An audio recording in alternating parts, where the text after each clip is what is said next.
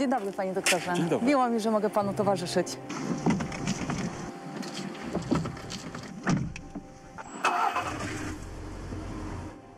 Wraca pan do pracy. Czuje się pan zwycięzcą? Czuję się zwycięzcą, to jest bardzo miłe uczucie i można powiedzieć, że przy pierwszej instancji wygrałem na swoim boisku 3-0, natomiast później już w instancji odwoławczej wygrałem 1-0 na boisku e, gospodarza i to było zwycięstwo jednogłośne. Zastanawiam się, jakiego rodzaju to będzie zwycięstwo. Czy ono nie będzie tylko honorowe? Czy pan zostanie przywrócony do pracy tak, że rzeczywiście będzie mógł pan leczyć pacjentów? Będzie mógł pan prowadzić terapię medyczną marihuaną? Chyba w tym momencie będzie decydowała rozmowa, która dzisiaj się ma odbyć. E, Ta rozmowa będzie przeprowadzona między mną, między kierownikiem kliniki neurologii i będzie jeszcze szefowa działu personalnego przy tej rozmowie. Panie doktorze, jeszcze ma pan jeden proces sądowy niezakończony o ochronę dóbr osobistych, e, który pan wytoczył dyrekcji szpitala. E, czy pan w ogóle rozmawia z panią dyrektor? E, Państwo rozmawiacie ze sobą? Niestety nie rozmawiamy i to jest przykre. Z tamtej strony nie ma żadnego dialogu. Żadnego dialogu. Ja już z panem nie chcę rozmawiać, usłyszałem. I tak od półtora roku to wygląda? Tak. Czy tak się w ogóle da prac- pracować, jeżeli człowiek nie rozmawia ze swoim pracodawcą? E, Ja zawsze byłem bardzo skoncentrowany na tym, co robię, czyli e, w tym momencie, jeżeli ja mam trudnego pacjenta w gabinecie, a tak jest codziennie, ja zapominam o reszcie świata, zapominam o tym, że, że są inne sprawy. Ja nie mogę się tam poddawać, ja jestem tutaj na tarczy, to ja wygrałem, prawda? Chciałam panu towarzyszyć też w środku, w szpitalu, ale dostałam odmowę. Nie wolno mi wejść z panem do szpitala. A no właśnie, i to jest, no nie, nie powinienem tego kom- komentować, prawda, ale Ja odniosłam takie wrażenie, że pan jest persona non grata w szpitalu. no właśnie. Jest pan bardzo związany z tym miejscem? Jeżeli się ponad 20 lat pracuje, to tak, że szkoda mi tych wszystkich ludzi, z którymi e, współpracowałem tak długo. Koledzy lekarze wspierali pana przez ten czas, kiedy pana nie było? Wspierali, wielokrotnie wspierali, także tutaj jak najbardziej tak można. I jest pan ich bohaterem? Czy ja wiem, czy jestem bohaterem? No w każdym razie Bo rodzice pana pacjentów tak pana traktują właśnie. no, na pewno coś e, dla tych dzieci starałem się i staram nadal zrobić.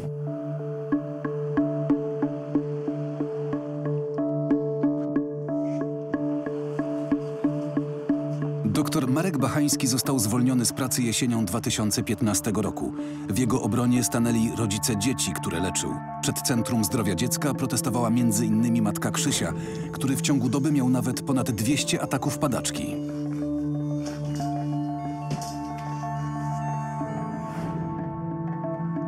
Pani Doroto, czy możemy pokazać ten e, Tak, tak, olej, wokół tak, którego tak, tylemitów narasta? Mąż przyniesie. Dzień dobry. Przyszedłem z całym sprzętem takiego. To są wszystko legalne substancje, które można kupić na rynku. E, Możemy zobaczyć, Jaki tak. to ma kolor? To jest ma taki ładny, złoty CBD kolor. rozcieńczane, rozcieńczane w oleju yy, z nasion konopi, tak? Czyli ekstrakt z Tak. kwiatostanu. To jest czysty, można powiedzieć taki w sensie klarowny, tak?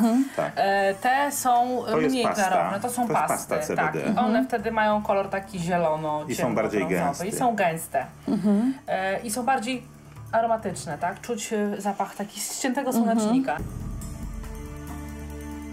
W nocy nie miał napadów, tak? E, budził się rano, były serie po 60, po 80 w serii. E, mniej więcej 4-5 na minutę napadów. Dzięki marihuanie to ma, ja wiem, 50 max. 50 na dzień? Tak, tak. To i tak jest bardzo dużo. Chodź, dawaj brzuszka. Damy ci olejek. Skoro legalnie Państwo kupujecie, to dlaczego jednocześnie walczycie Państwo o legalizację? Są ekstremalne przypadki, tak jak nasz Krzysiek. Trzeba dołożyć THC tego osławionego, Nielegalnego. e, w cudzysłowie nielegalnego haju, tak, który tak naprawdę nie jest wcale hajem. Gdyby teraz Krzyś dostawał THC, czy byłaby szansa, że na przykład ataków padaczkowych w ogóle by nie było? Byłaby szansa, żeby było jeszcze mniej jak jest, tak. Nie mamy gwarancji na to, że nie będzie w ogóle, bo są dzieci, dzieci na które to Ale nie działa. nie ale, ale nie, To niestety nie jak- możemy się przekonać, tak?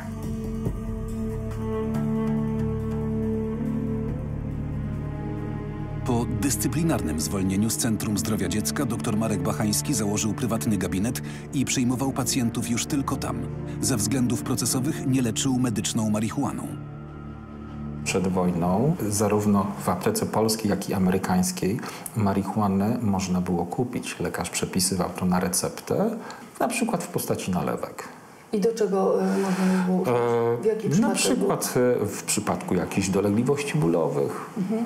Podaję jako to jakby jeden przykład, natomiast tych wskazań było oczywiście więcej. Kiedy ona zniknęła z polskich aptek w takim razie? Historia była taka, że w 1937 jest e, w Ameryce ustawa o opodatkowaniu marihuany i dzięki temu bardzo powoli marihuana zaczyna z aptek amerykańskich, ale również i innych na świecie znikać.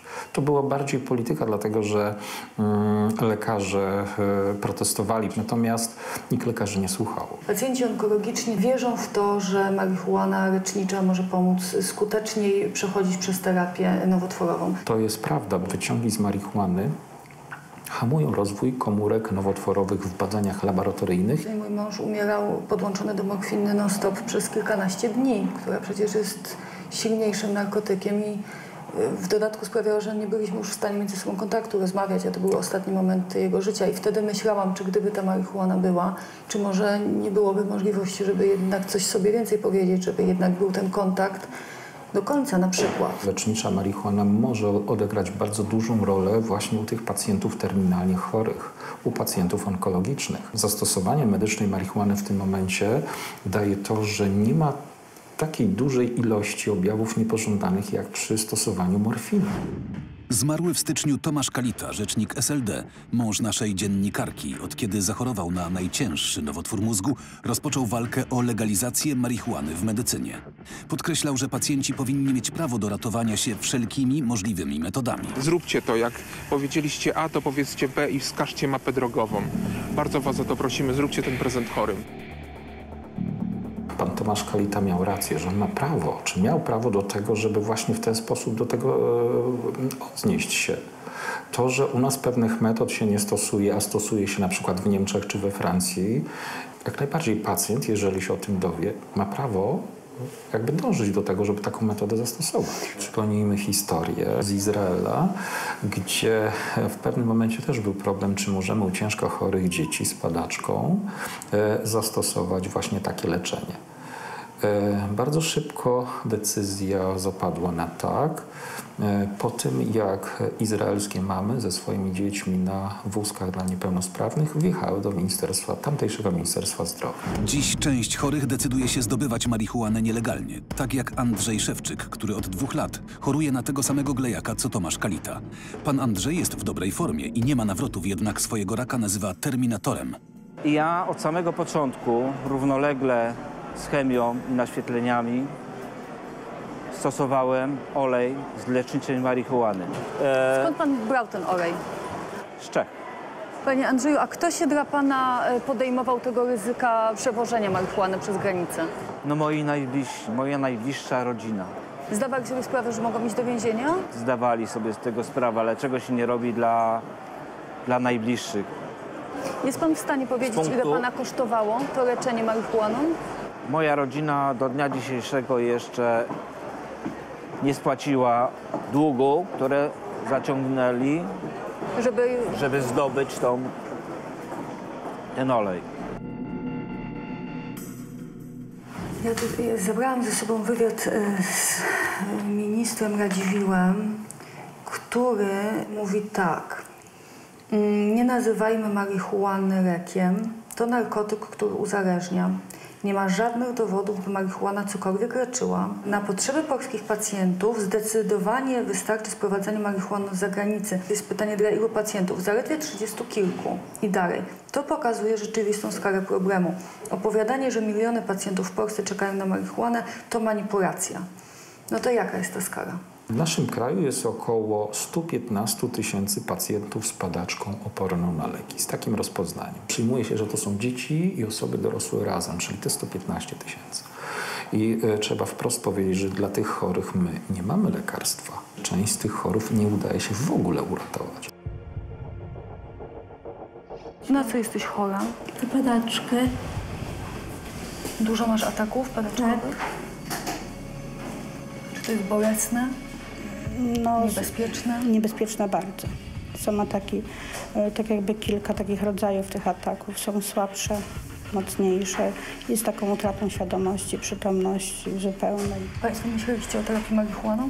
Tak, jak najbardziej chcielibyśmy, żeby została wprowadzona w leczenie naszego dziecka.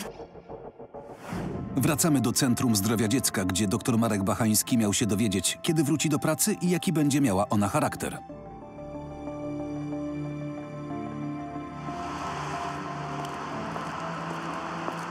No i jak sytuacja, panie doktorze? E, zwycięstwo, ale jeszcze nie całkowite. To znaczy? Mm, Pracuję, e, jestem zatrudniony, e, tyle tylko, że w pracowni diagnostycznej. Niestety nie e, będę w tym momencie pracował z pacjentami. Na czym teraz będzie polegała pana praca?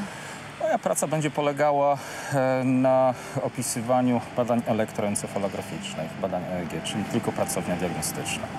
No i co pan teraz robi? Czy ja się jeszcze tak mm, kiedyś tak ostatecznie poddałem? Chyba nie. I będzie pan dalej walczył. Na to wygląda. Powodzenia, panie doktorze. Dziękuję, Dziękuję. bardzo.